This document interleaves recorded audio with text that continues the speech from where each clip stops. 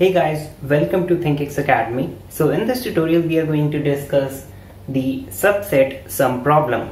So let's first discuss what exactly this problem is all about. So in this uh, problem you can see there are two words subset and sum. So what we are going to do is we are going to write a set and basically we are going to write a set of numbers so we are we have taken a set of three numbers in this case. So a subset will be so if we want to write the subsets of this set so this is our whole set and now I wish to write the subsets. So the subset will be 1 1 comma 2 1 comma 3 2 and so on so basically subset is the uh, combination of some or all the elements of this whole set. So we are going to take a set a whole set and we are going to take a set. Uh, so I'm going to write here some numbers in this set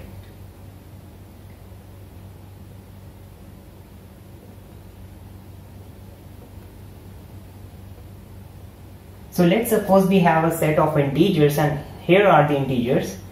So you will be given a set and a number and we call this number as sum. So let's choose any random number. So I'm choosing 9 as a random number. So in this problem you will be given a set and a number sum. What you have to do is you will have to pick up those subsets such that if you will add all the elements of this subset it will give you the sum. That's why this problem is known as the subset sum problem. So in this, if this is our problem statement, you can see that the answer is, so I want to pick up the elements. So if we pick up 4 and 5 and we make a subset like this, we can see that the sum of these two numbers will give us this number. There is one more one uh, subset which is 2 comma 3 comma 4. So here you can see that these are the two subsets and if you will add all the elements of these subsets you will get this number sum. So this is our problem. The problem says that you will have to write a function and you will provide a set and a number to that function and that function will basically return if there exists a subset which satisfies the required problem. So we will have to write a function here. So before writing the implementation of the function, I first want to discuss how the function's logic will work. So to discuss the basic logic that we are going to use to implement our function, I'm going to take a very simple a very simple set. So let's suppose this is our set. So to find a subset which basically if you will add all the elements of that subset it will give us this number sum equals to 9. So let's say that in this in this case you want to find a subset such that the sum will be equal to 5. So we know that we want to find a specific subset. To find a specific subset first we will have to just uh, do something so that we can get all the possible subsets of this whole set. So how can we do that? So we know that the subsets contain the elements of the set or it cannot contain any one of these. Or if you pick up an element from the set there are two possibilities.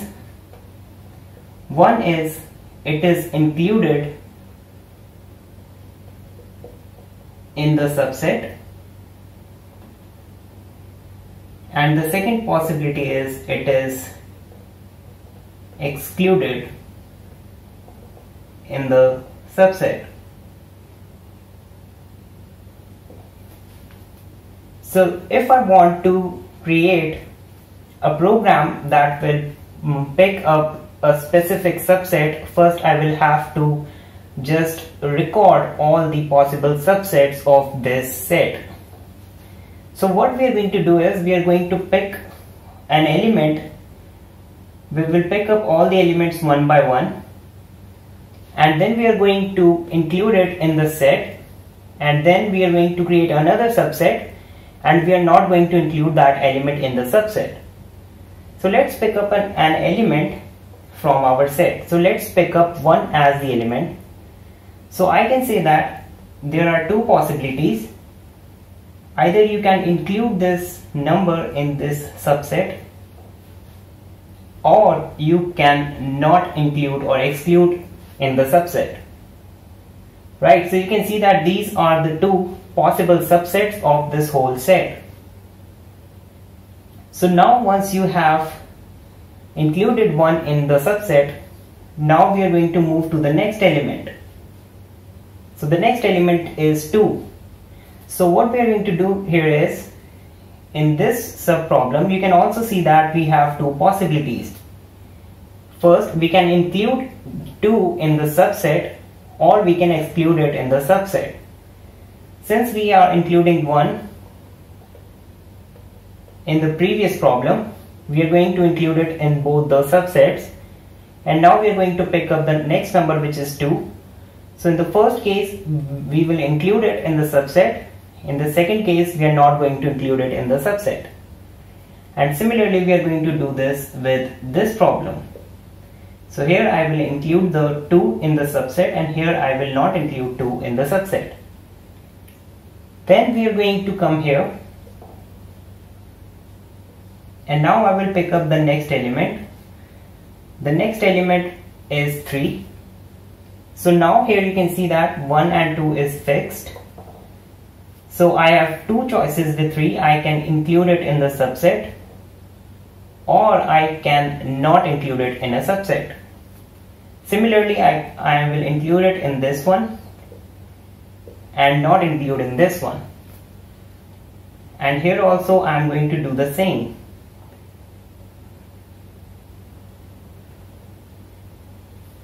So you can see that these are the two possibilities and using these two possibilities we are calculating the subproblems. So you can observe here that here this is our main problem and all of them are subproblems and these subproblems are basically categorized into including in the subset and excluded in the subset. So we know that this will be our approach to get all the possible subsets of this set. So you can see that when you do, uh, when you will implement this approach, you can get the subsets of this set. So you can see 1 is the subset of this set. Similarly 1 comma 2, 1 comma 2 comma 3, then 1 comma 3, even uh, a phi set or a set with known elements is also a set. So this is also a subset 2 is a subset, 3 is a subset and 2 comma 3 is also a subset. So this is our step 1. So in step 1 we are going to pick up an element from the given set one by one and then we are going to classify it into two subproblems and for that we are going to use recursion and in recursion we are basically going to divide we are going to uh, go recursively by picking an element from the n minus 1th position to the 0th position. And whenever we pick up an element we are going to make two recursive calls. In the first recursive call we will say that we are including this element and in the second recursive call I will say that I am not including it in the subset so this is our step 1. In the step 1 we have uh, all the subsets, all the possible subsets of the given set. But our problem was to find only those subsets such that if you will add the elements of these subsets, it will give you the sum equals to 5. so as you can see that in th these in all of these if you will pick up this subset so 2 plus 3 will give you 5 and you can see that it is the only subset which will give you the sum equals to 5 so whenever you will encounter such a subset you will just return true. So step 2 is to find find appropriate subset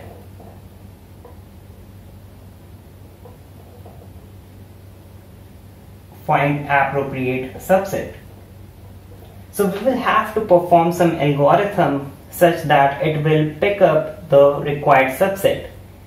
And whenever that subset the required subset is found and we know the required subset is the subset such that if you will add the elements it will give you the sum. So whenever the function will find such a subset it will return true and that is basically our subset sum problem. So now let's see how we can find the appropriate subset. So now we are going to make use of this variable sum to know whether we have found the appropriate subset while doing recursion. So while doing recursion, I will provide this variable at each function calls. So in this function, in the first function call, I will give it the value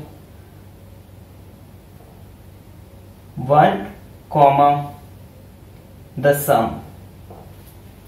So I will give the sum value to this to the function calls itself and when we will do that we can see that if you are including 1 in this subset then we know that the rest of the elements will be 5 minus 1 so now the value of sum will become 4 so it is basically so if you see the solution of this problem we know that 4 and 5 is the solution and 2 3 4 is also the solution.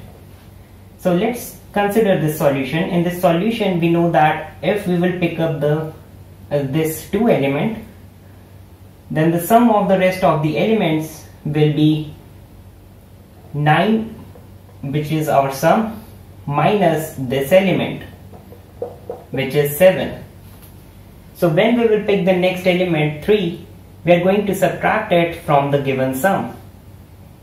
And we will keep doing that until and unless we have picked all the elements from our given set. So now we will pick up the element 4.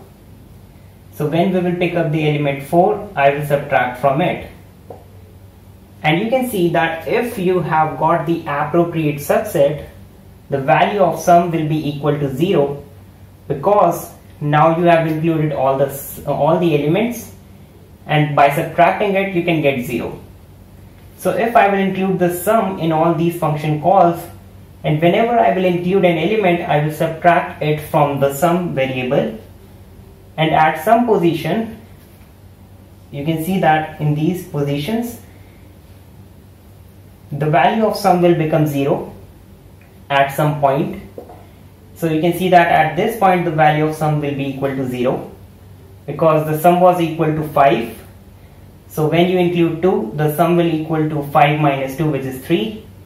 When you will include 3 it will become 3 minus 3 equals to 0. So whenever the value of sum will be equal to 0 we are going to return true. So I'm going to write here this logic. So if the value of sum is equals to equals to 0 we are going to return true. As you can see in this whole problem, we have proceeded two steps. In the first step, we are going to make a recursive calls. Uh, we are going to make two recursive calls for these two subproblems. And in the step two, I will just uh, write the sum function. And whenever we will include any element in the subset we are just going to subtract it from the sum.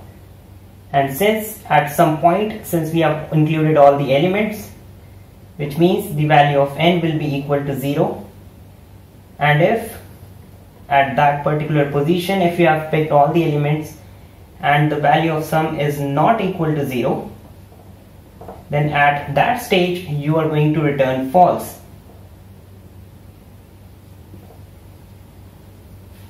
So you can see that this is one condition and this is the another one condition. So in this solution you can see that if we take this element 2 you can see that in this solution 2 is included in the set but in this set you can see that 2 is not there. So this means that if any of this condition is true then we are going to return true. And you can see that if we pick up the element 4, 4 is there in this subset and it is also there in this subset. So we are going to use an OR operator between these conditions. So here you can see that it will return true and this will return false so if any one of the condition is true, it is going to be true. And even if this condition is false, this condition will be true and it will get, then it doesn't matter what uh, this value will be, it can be false or true. So this is true, so it has found an element and in this manner we are just going to use OR operator. So if any of these uh, problems evaluates true value, that means we have found the subset and now we will return true. So this is the basic working behind the behind this whole problem. This is how we are going to solve this problem by introducing these two steps. And we know how to stop recursion. We know we can stop recursion by returning true and false when these two conditions are met. So now I'm going to erase this and now I'm going to write the whole function in C++ language and then we are going to draw the recursion tree of this example.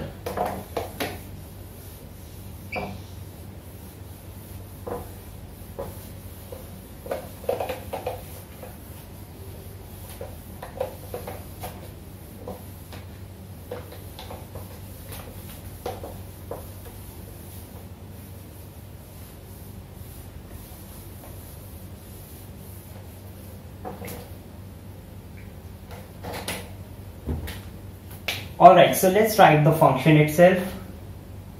So I know the return type of the function will be true or false, so I'm going to write here bool. So let's name the function as s is ss. ss basically means is subset sum. So I'm going to use a shortcut here. We are going to provide this function this set and we will also provide the number of elements inside this set. So we can see that in this case the number of elements n is equals to 6 and then we are going to provide this variable sum to this function. So now we are going to write the base conditions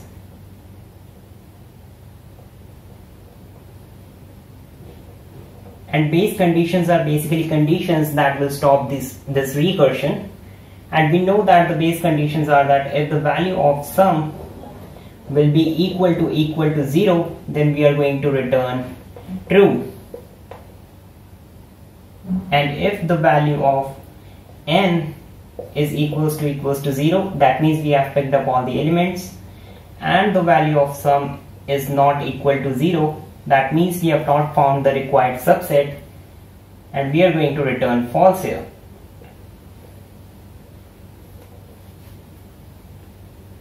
So this is how we are going to write the base conditions and these conditions will stop recursion by returning the value true or false at each and every recursive step. So next you can see here that there are some numbers in this set which are greater than the sum. So we are going to ignore them because since these are already greater than sum, then they cannot pro uh, provide us the required subset.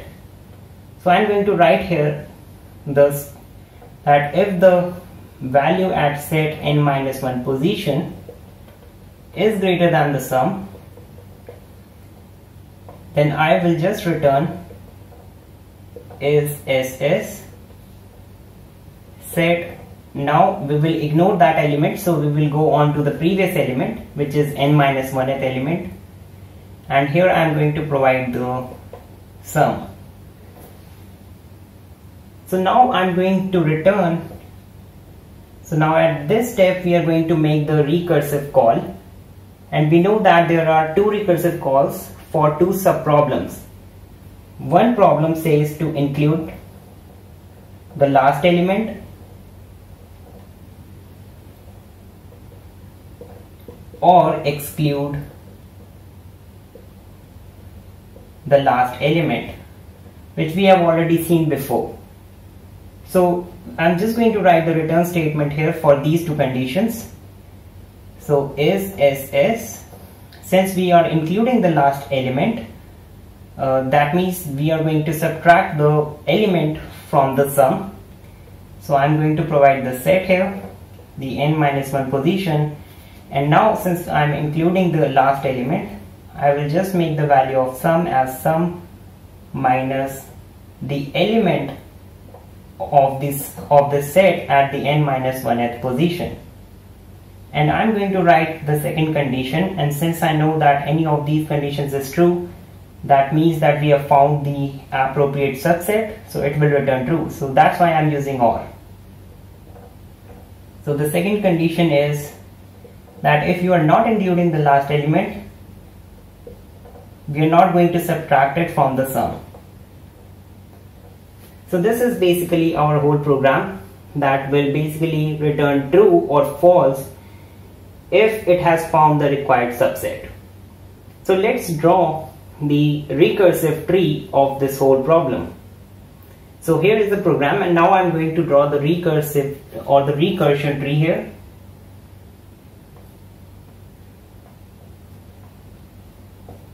So first you can see that the value of n is equals to 6 the value of sum is equals to 9 so our problem we are going to make a call to uh, this function using the number of elements and the sum. So initially the sum the value of sum is 9 and n is 6 now we are going to break this problem into two sub problems So this is basically our whole problem. So when we are going to make it n equals to 6, then you can see that it will come at this step and it is going to divide it into two sub problems.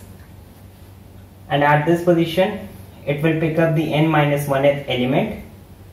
So n minus 1th element, if I will write the index positions here, so n minus 1, 1th element is the element at the fifth position so this will make a call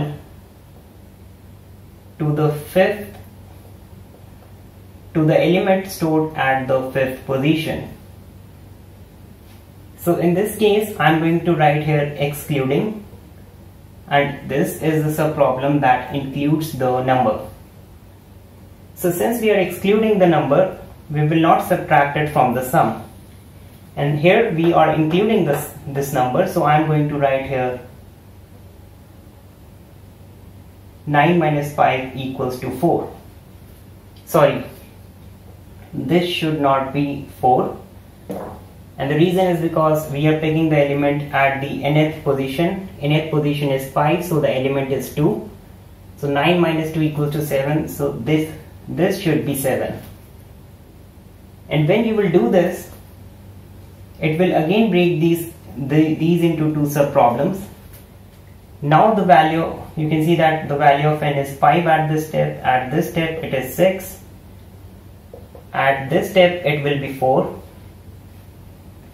and now we're going to divide this sub problem and the value of n is 4 so let's pick up the previous element. You can see that the previous element is 5 here. So when we will uh, exclude it it will have no impact on this number. But if we will include it so if we will include this number 5 then we are going to write here 9 minus 5 which is equals to 4 and we are going to do this again and again and these will go on and on. Until and unless these any of these two conditions occur. So at some stage it will be able to find when the sum will be equal to equal to 0. So you can see that the sum is actually getting subtracted and we have already seen uh, why the sum equals to equals to 0 and this return true what this statement actually means. We have discussed this whole statement before. We know that if the value of sum equals to equals to 0 then we have found the appropriate subset. And so this is the subset sum problem.